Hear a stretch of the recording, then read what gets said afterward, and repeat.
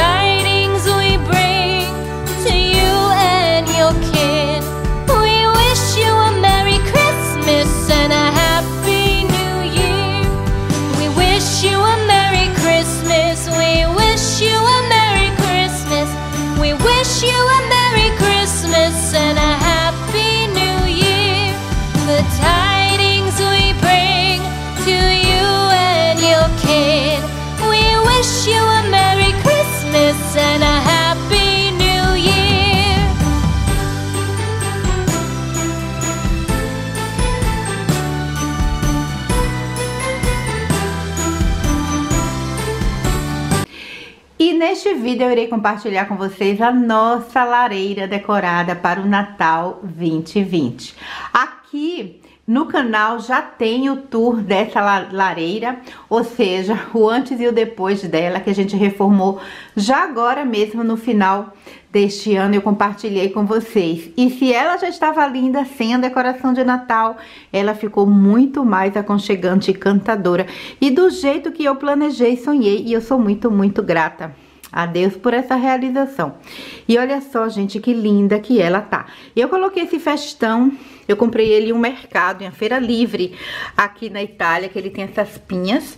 E decorei aqui com as frutinhas, que dá aquele toque bem, como é que eu posso falar pra vocês? Aquele toque que eu gosto, digamos assim. Então aqui tem esse caixote, ele já estava com verdinho. Eu só acrescentei aqui um pisca de estrelinha, ele foi lá do Mercado Lidl. E coloquei mais algumas frutinhas aqui para dar esse toque natalício. E essa caixa foi uma caixinha que- de presente que eu ganhei o ano retrasado. Eu acho que vieram com toalhas de banho, toalhinhas de rosto, na verdade. E aí eu aproveitei para fazer arranjo e fica aqui. E olha só, também aqui tem esse porta-velas, que ele não é só pro Natal, só que eu botei a guirlanda, né, que é própria para base de porta-velas, com essa velinha aqui. E esse candelabro italiano, que ele já nos acompanha há bastante tempo, foi Valentino quem comprou. E eu dei o detalhe aí com as frutinhas é, vermelhas também. E aqui desse lado tem uma caixa. Na verdade, praticamente a decoração continuou. Eu só acrescentei algumas coisinhas. E aqui tem esse porta-velas, muito bonito, gente, antigo, que eu gosto. E pronto, aqui tem as meias, que eu já coloquei. Valentina e Giovana, são meias personalizadas, feitas pela a minha amiga, que faz costurinhas pra mim. Eu vou deixar o Instagram dela aqui na descrição do vídeo, pra vocês conhecerem, se vocês forem daqui. Ela aceita encomenda aqui pra toda a Itália. E ela fez também o lacinho aqui, ou seja, a echarpe do meu ursinho, muito fofo. Eu já mostrei pra vocês lá no canal Profissão Dona de Casa. Se você tá chegando aqui agora através do La Finestra, eu tenho um outro canal que eu falo mais da minha rotina de dona de casa, que é o Profissão Dona de Casa. O link tá sempre aqui na descrição do vídeo. Então, aqui embaixo tem essa telinha de proteção. Ali tem alguns acessórios que a gente usa aqui é, na lareira. O cestinho de lenho. E esse banquinho que a gente coloca os pés. Eu tenho uma outra cadeirinha de apoio. Já falei pra vocês que eu deixo ela aqui quando a gente quer é, ficar aqui curtindo a lareira. E é isso, gente. Eu espero de coração que vocês tenham gostado.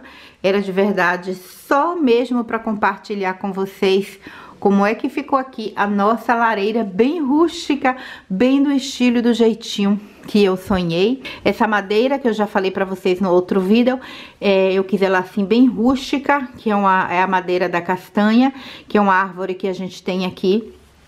Nós somos aqui rodeados de é, avelãs e castanhas e ele encontrou esse pedaço é, de madeira e a gente reaproveitou aqui. Ele tem alguns detalhes irregulares, porque era exatamente assim que eu queria.